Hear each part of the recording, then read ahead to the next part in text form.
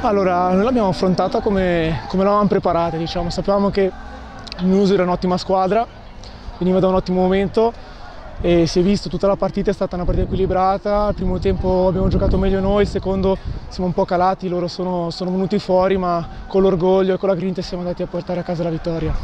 Ma adesso tra due giorni abbiamo già una partita di campionato che cercheremo di affrontare al 100%, dopodiché con tutta tranquillità ci prepareremo per la partita di, di mercoledì. Ma diciamo che, che, era il minimo che, pote, che potevamo fare, no? diciamo, la Coppa era un po' un obiettivo dichiarato dall'inizio della stagione, però noi comunque come squadra, come giocatori ci siamo focalizzati partita su partita, siamo arrivati qui e adesso chiaramente vogliamo andare, vogliamo andare fino in fondo. In campionato abbiamo disputato soprattutto un'ottima annata, il ritorno ci sono stati mille fattori che ci hanno portato un po' magari a, a calare in certi momenti, ma il gruppo è unito e ci prepariamo al meglio per mercoledì.